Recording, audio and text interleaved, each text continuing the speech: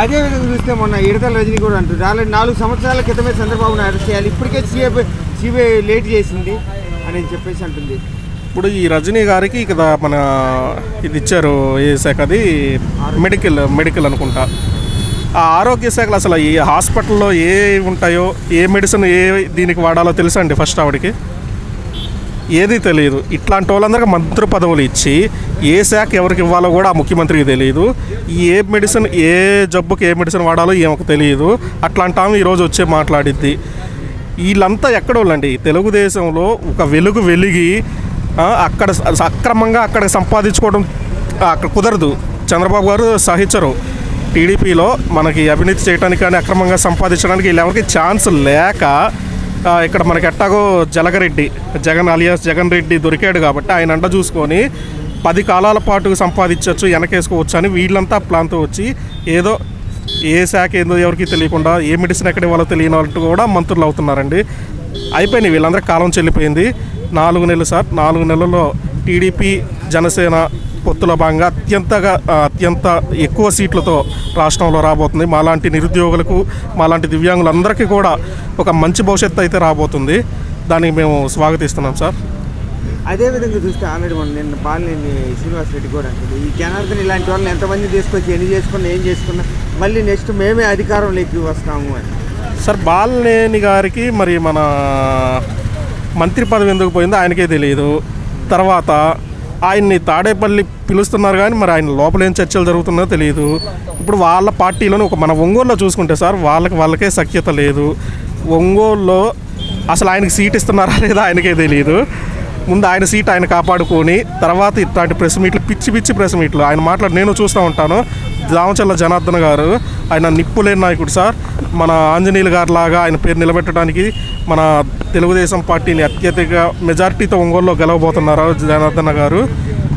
అట్లాంటి ఆయన మీద ఏ పిచ్చి పిచ్చి వ్యాఖ్యలు చేస్తూ ఉంటాడు. ఆయన కొడుకు చేసే ప్రణీత్ రెడ్డి గారు చేసే అవినీతి ఆయన చేసే కబ్జాలు పక్కన ఎక్కడ చిన్న నాలుగు సెంట్ల స్థలం కనపడ్డా వీళ్ళు కబ్జా చేస్తూ ఉంటారు. ఇట్లాంటి వాళ్ళ సార్ మాట్లాడేది. ముందు రేపు ఆయనకి సీటు తెప్పించుకొని ఒంగోలు గెలిచి చూడమనండి. గెలిచేదాకద్దు. ముందు ఒంగోలు సీటు తెప్పించుకోమనండి దమ్ముంటే. అదేవిధంగా చూస్తే నిన్న అంబా అంబాయి రాంబాబు కూడా అంటుంది. ఏదైతే ఉందో ఆల్రెడీ ఇలాంటి ఇట్లాంటి ఏదైతే ఉందో ఆల్రెడీ మొన్న ఏ, పవన్ కళ్యాణ్ కూడా రోడ్ల మీద పండుకోవటం వీళ్ళంతా దత్తపుత్రుని వీళ్ళందరినీ ఇట్లాంటి వాళ్ళని ఎంతమందిని తీసుకొచ్చుకున్నా ఎన్ని కలిసి వచ్చినా కానీ సింహం సింగిల్గా వస్తుంది. సార్ అమ్మ- నెక్స్ట్ మళ్ళీ అధికారంలోకి మేమే వస్తామని చెప్పేసి కూడా అంటున్నారు. సార్ ఆయనకు అంబటి రాంబాబు కంటే కూడా ఆడాళ్ళ రాంబాబు అంటే పేరు బాగుంటుందండి. ఎందుకంటే ఆయన పోలవరం అడిగితే మీడియా వాళ్ళు అడిగితే ఎప్పుడు అవుతుందో తెలియదు అంటాడు ఆయన ఒక మంత్రి. ఆయన శాఖ ఆయన శాఖలో పోలవరం ఎప్పుడు అవుతుందో తెలియదు. ఎక్కడ వాటర్ ఇచ్చిన పరిస్థితి లేదు.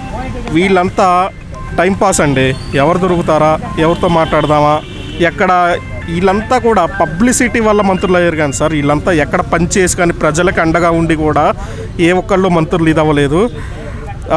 రాంబాబు పాపం కళల్లో ఉన్నాడు ఆయన. మహా అయితే ఈ పగటి కళలు నాలుగు నెలలు కంటాడు రెండు నెలలే కంటాడో తెలియదు. ఇంతకన్నా కూడా ఈ నాలుగు నెలలే సార్. ఖచ్చితంగా నూట డెబ్బై ఐదుకి స- నూట డెబ్బై ఐదు భారీ మెజార్టీతో తెలుగుదేశం జనసేన ప్రభుత్వాలు రాబోతున్నాయి. అది అంబటి రాంబాబు కాదు కదా వీళ్ళంతా కూడా ఆ ప్రపంచంలో కొట్టకపోవడానికి ఇప్పుడు పగటి కళలు కంటున్నారు సార్. అదే విధంగా చూస్తే మొన్న చంద్రబాబు నాయుడు కూడా ఇచ్చే- చంద్రబాబు నాయుడు కూడా ఆల్రెడీ జగన్మోహన్ రెడ్డి అంటే జరిగింది ఆల్రెడీ.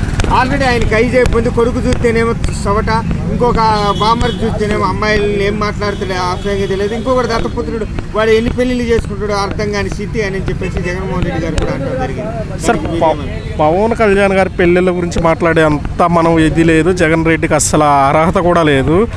సార్ లోకేష్ గారు ఇప్పుడు మన యువకాలం చూసుకుంటే ఏ ఊరు పోయినా ఏ జిల్లా పోయినా ఏ మండలం పోయినా జనాలు తండోపతండాలుగా వస్తున్నారు.